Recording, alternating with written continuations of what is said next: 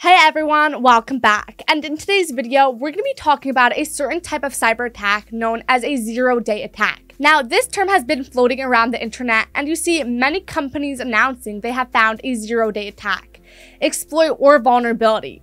At the same time, this term has been used to measure the effectiveness of an antivirus, but it's not exactly considered malware. So what exactly is this cyber attack?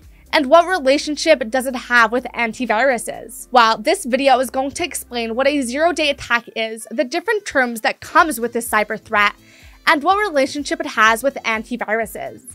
Now, before we get into this video, I'll leave some in-depth reviews on antiviruses that are considered to be the best against zero-day threats, as well as some discounts in the description down below. Okay, so first of all, there are two different types of attacks that people keep mixing up. There are zero day attacks and 14 day vulnerabilities. Both are equally dangerous, yet they differ in urgency levels. When a company releases a version of software, they have a team that keeps looking for vulnerabilities in this version of the software and running several simulations to find ways that hackers would use to exploit the software and issue a cyber attack. Now, this testing is not only done by the company, by the way. There are other independent developers who run their own tests and try to find vulnerabilities to report back to the company should they find anything. If either of these sides discovers a vulnerability that is not yet available online or spreading on websites such as GitHub, for example, they immediately report back to the company and confirm that they were the first to find such a weakness in their system. Then, the company would ask the person to keep this data confidential for 14 days as they worked on the patch to fix said vulnerabilities before anyone else could find out and exploit them. This is the 14 day vulnerability. A zero day attack, however, means that the first person or party to discover this vulnerability is a cyber criminal who is trying to sell the exploit on the dark web usually for a huge sum of money.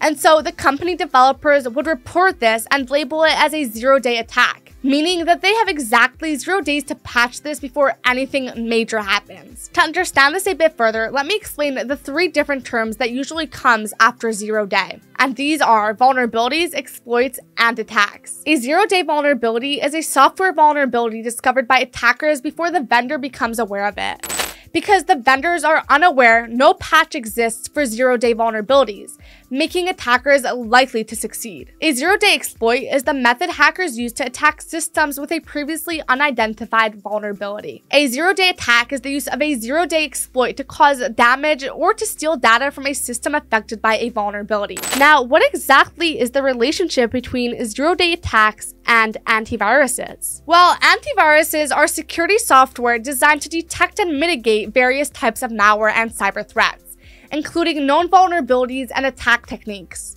The connection between these two lies in the fact that antiviruses are tasked with identifying and blocking threats, including zero-day attacks. While they excel at recognizing known malware and attack patterns, they often struggle to defend against zero-day attacks since, as I mentioned earlier, these exploits leverage undisclosed vulnerabilities. Security vendors continuously work to improve their antivirus solutions by updating their threat databases and employing heuristics to identify suspicious behavior. These heuristics refers to a set of techniques or methods used to identify potentially malicious or suspicious files and behaviors based on general rules and patterns rather than relying solely on known malware signatures. Heuristics are an important component of antivirus programs because they help in detecting new and previously unknown threats including malware variants and zero-day attacks. However, the ever-evolving nature of zero-day attacks poses a significant challenge to the effectiveness of antivirus software in preventing such threats.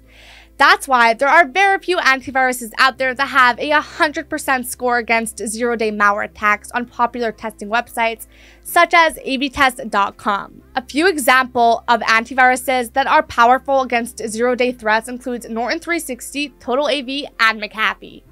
Now, how can you protect yourself from zero-day attacks? Well, protecting yourself from zero-day attacks requires a proactive and multi-phased approach to cybersecurity. First of all, Keep your software and operating systems up to date.